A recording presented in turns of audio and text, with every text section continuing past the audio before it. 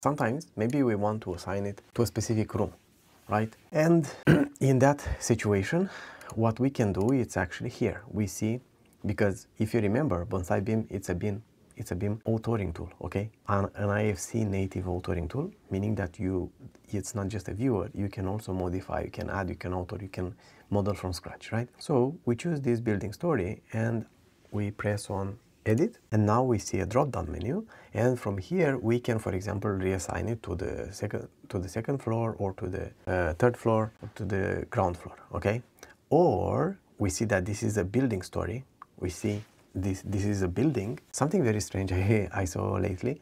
A lot of objects being assigned to the IFC building not the building story, which is, yeah, really bad.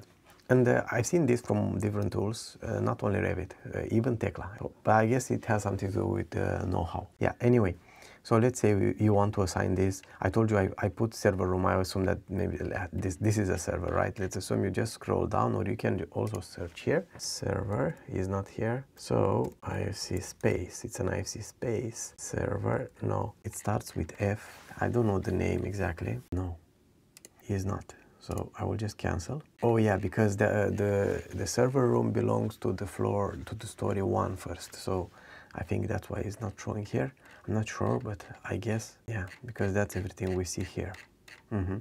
Let's see if I assign it to the story one. But this is how you do it. And we see we get a message here, one elements assigned. And you see that right now, the building story is 01.